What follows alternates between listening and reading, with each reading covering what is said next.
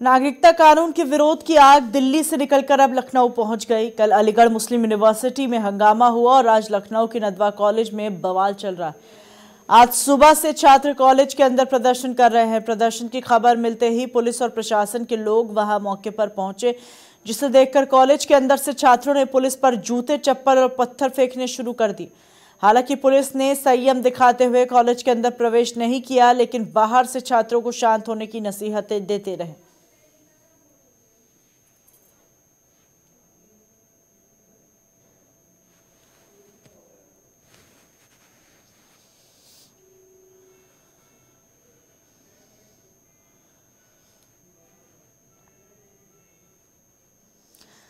Nadwa college के छात्रों के विरोध प्रदर्शन का जायजा लिया हमारे संवाददाता ने। नागरिकता संशोधन बिल को लेकर के लखनऊ में जिस तरीके से जोरदार प्रदर्शन हो रहा था, नदवे के कॉलेज के जो छात्र हैं, वो इस वक्त आक्रोशित होकर आप देख सकते हैं हमारे पीछे अंदर से पत्थरबाजी लगातार हो रही है। पुलिस कई समय से इन लोगों को समझाने की कोशिश कर रही थी और अब उग्र प्रदर्शन हो गया ये कहा जा सकता है कि अंदर से जिस तरीके से पत्थरबाजी हुई है, उसकी जवाबी कार्रवाई में अभी फ़िलहाल पुलिस कर्मियों ने कोई मोर्चा नहीं लिया है, लेकिन पुलिस के अफसर तकरीबन तीन घंटे से इस मोर्चे को संभाल रहे थे और अब छात्र को जब अंदर परिसर में ढकेलना शुरू किया था, तब छात्रों ने इसका विरोध प्रदर्शन किया। उसके बाद आप देख सकते हैं किस तरीके से उन्होंने पत्थर बरसाए हैं पुलिस पार्टी के ऊपर और तमाम जो पीएसी की टुकड़ियाँ हैं आरआरएफ की फोर्स है पुलिस के अफसर है और खुद डीएमएसएसपी लखनऊ मौके का जायजा ले रहे थे और इसी दौरान पत्थरबाजी हो गई है। जमीनों में पड़े पत्थर इस बात की गवाही दे रहे हैं कि अंदर से किस तरीके की पत्थरबाजी हो रही है और लगातार छात्र इस बात का विरोध प्रदर्शन कर रहे थे कि नागरिकता संशोधन बिल को कैंसिल किया जाए। केंद्र की ये जो नीति है, वो सही नहीं है। तो आप देख सकते हैं, पुलिस के अफसर इस वक्त मोर्चे पे तैनात हो गए हैं और अब बात करने की कोशिश की जा रही है कि जितनी भी पत्थरबाजी अंदर से हुई है, अब वो दोबारा ना हो। तो पुलिस के अफसर इस हालात को काबू करने में लगातार लगे हुए हैं, लेकिन अंदर से जिस तरीके की पत्थरबाजी हुई है, वो ये कहा जा सकता है कि जवाबी कार्रवाई में पुलिस पार्टी, अगर ये जल्द ही शांत नहीं हुए तो इनके ऊपर लाठीचार्ज की प्रक्रिया हो सकती है। फ़िलहाल पुलिस के अफसर इन छात्रों को मनाने की कोशिश कर रहे हैं और न सिर्फ़ मनाने की, बल्कि उनको सड़क से लेकर के परिसर के अंदर तक ले जाने की कोशिश कर रहे हैं ताकि ये छात्रों का जो प्रदर्शन है, वो नदुए कॉलेज से बहुत ज़्यादा बाहर ना आने पाए। लखनऊ से वीडियो जर्नलिस्ट अंकित के साथ शिवा शर्मा, लाइव टुडे। वहीं डीएम अभिषेक प्रकाश ने खास बातचीत की। हमारे संवाददाता शिवा शर्मा से, सुनिए।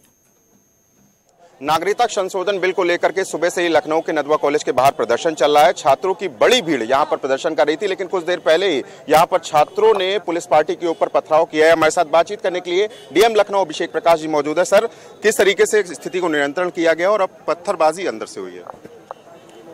देखिए, वर्तमान में आप देखें तो स्थिति पूर्णतया कंट्रोल में है। जो कॉलेज यूनिवर्सिटी का जो गेट है, वो भी बंद है। सारे के सारे जो स्टूडेंट्स हैं, वो अपने अपने क्लासेस छात्रावास में जा रहे हैं।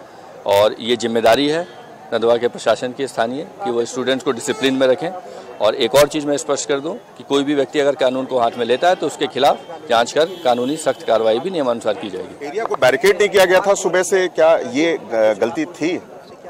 नहीं बैरिकेडिंग हो रखी है फोर्स भी यहाँ पे डिप्लॉयड है और साथ ही साथ सुबह से वार्तालाप भी चल रहा था और ये वार्तालाप और एफर्ट्स का ही असर है कि यहाँ पे स्थिति पूर्णतया कंट्रोल में है। कहीं कोई दिक्कत की स्थिति अभी नहीं है सभी सभी स्टूडेंट्स अंदर आ, कुछ पुलिसकर्मियों के सर पे पत्थर लगे हैं तो क्या पुलिसकर्मी कुछ घायल हुए हैं? नहीं ऐसी कोई चीज़ नहीं है। स्थिति सामान्य में है? स्थिति पूर्णतया नियंत्रण में जैसा कि आप देख सकते हैं। तो ये थे हमारे साथ डीएम लखनऊ। अभिषेक प्रकाश जी, इनका कहना है कि स्थिति अब पूरी तरीके से काबू में है। छात्रों से बातचीत करने की कोशिश की जा रही है। नदवा प्रशासन के जो वहाँ के लोग हैं, उनसे वार्ता करने की कोशिश की जा रही है। आगे से इस तरीके की पत्थरबाजी ना हो। इसमें पुलिस अफसर ग्राउंड ज़ीरो से ही नज़र बनाए हुए लेकिन एक तरीके से, जिस तरीके पर पुलिस तरीके से पार्टी पर फायरिंग हुई है, कहीं ना कहीं छात्र नागरिकता संशोधन बिल को लेकर के उग्र है और अभी भी परिसर के अंदर मौजूद है और पुलिस की उन अधिकारियों से वार्ता चल रही है, जो नदवा कॉलेज के प्रशासन के लोग हैं। लखनऊ से वीडियो जर्नलिस्ट अंकित यादव के साथ Shiva Sharma live today Nadwa college के छात्रों की पुलिस पर पत्थरबाजी के बाद सुरक्षा व्यवस्था को लेकर एसएसपी कल्याणी नैथानी से बात की हमारे संवाददाता ने।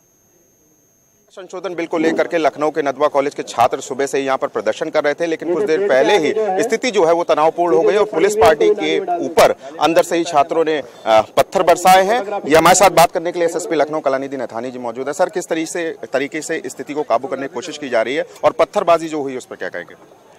देखिए जो छात्र बाहर आ गए थे जो प्रदर्शन कर रहे थे पुलिस और प्रशासन ने मिल करके उनको समझा बुझा करके नारेबाजी रुकवाते हुए जैसे ही अंदर किया गेट के, गेट बंद किया, जो सामने क्यारी है, उसके साथ जो ईंटें लगी हुई थी, वो कुछ अंदर से बाहर फेंकी गई थी। क्षणिक पल था, पैंतीस चालीस सेकंड का।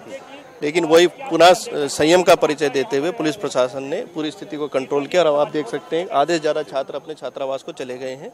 स्थिति इस समय नियंत्रण में है, वार्तालाप लगातार चल रहा है। कई समय से समझाने का प्रयास किया जा रहा था कि अपना प्रदर्शन जो है वो परिसर के अंदर रखिए आप रोड पे मत आइए। वही हमने किया है वही पुलिस ने अंदर किया तो अंदर से बाहर जो मैंने कहा क्षणिक पल के लिए पैंतीस चालीस सेकंड के लिए यहाँ पे जो पत्थरबाजी हुई थी तो वो उनको अंदर कर लिया गया है स्थिति नियंत्रण में है बाकी हम लोग सतर्क दृष्टि बनाए हुए हैं। जिन लोगों ने पुलिस पार्टी के ऊपर पथराव किया है तो उनके ऊपर किस तरीके की कार्रवाई होगी आने वाले समय कार्रवाई जो भी है वो तो बिल्कुल होनी चाहिए वो उसी तरह की रहेगी पर फ़िलहाल फोकस हमारा पूर्ण नियंत्रण पर है जो प्रक्रिया चालू है।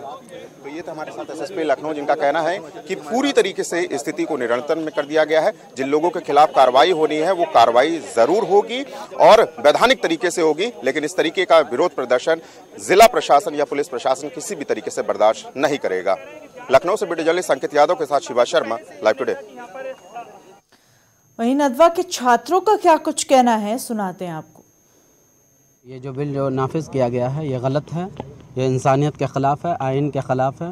संविधान के ख़िलाफ़ है। बाबा बाबा साहब भीमराव अंबेडकर और हमारे अकाबरीन जो कराम शहीद हुए हैं उनके आज रूह को तकलीफ़ पहुँच रही होगी।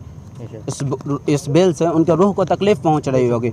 और हम ऐसा काम करें जो हमारे गांधी जी को बाबा साहब भीमराव अंबेडकर को और जो हमारे कराम शहीद हुए मुफ्ती अशफाकुल्ला खान मौलाना मोहम्मद अली गौहर जौहर जो भी थे बहुत हज़ारों कराम दिल्ली से लेके दिल्ली की चांदनी चौक से खैबर तक जो उन्होंने अपनी गर्दनें कटा के दरख्तों पर लटकाई है, कुर्बानियाँ दी है, वो आज उनके रूह को, जिन्होंने आज़ाद कराया इस मुल्क को, अंग्रेज़ों से, आज उनके रूह को तकलीफ़ पहुँच रही होगी इस बिल से। वो तो दो तरफा काम कर रहे हैं ना, यहाँ के कानून के ख़िलाफ़ कर रहे हैं और जो यहाँ का कानून है, संविधान है, हम उसको गले से लगाते हैं और हमेशा समझिए इस मुल्क के लिए खून बहाया है और बहाएँगे। इस मुल्क को अगर गर्दन की ज़रूरत पड़ेगी तो फिर कटाएँगे। हम टीपू सुल्तान बनेंगे और हम समझिए कि अबुल कलाम आज़ाद बनेंगे, हम हमीद बनेंगे मेरा वीर अब्दुल हमीद बनकर फिर इस मुल्क को सींचेंगे। पाकिस्तान का टैंक तोड़ने वाला कोई और नहीं था, वो हमारे ही थे। और फिर ज़रूरत पड़ेगी तो फिर बहुत कदम उठाएँगे। देखिए, विरोध तो सभी को पता है, देश को पता है कि क्यों हो रहा है। लेकिन विरोध का जो तरीका है, जो अपनाया जा रहा है, एक ऐसा माहौल क्रिएट कर दिया गया है प्रशासन के द्वारा या आम जन के द्वारा या वो संगठन जो इस इस बिल का समर्थन कर रहे हैं कि कोई भी तरीके से अमन से अमन के तरीके से कोई प्रदर्शन ना हो। किसी भी सूरत से इन प्रदर्शनकारियों की जो इस बिल इस एक्ट के तहत विरोध कर रहे हैं उनकी आवाज़ को दबाया जा सके। लेकिन मैं हिंदुस्तान से पूरे भारत से अपील करता हूँ कि पूरे अमन के साथ, पुरजोर के साथ इकट्ठा होकर इस बिल का, इस एक्ट का विरोध करें। लेकिन अपने मुल्क की किसी भी सरकारी चीज़ को या किसी भी प्रशासन को जो है चोट ना पहुंचाएँ। हम ये जानते हैं कि इस मुल्क में एक्ट बनते हैं, वो बहुत ज़्यादा बनते हैं, लेकिन उनका विरोध होना चाहिए। ये आम चॉइस की बात है, क्योंकि हर मुल्क, हर हिंदुस्तानी को अधिकार है कि वो विरोध करे।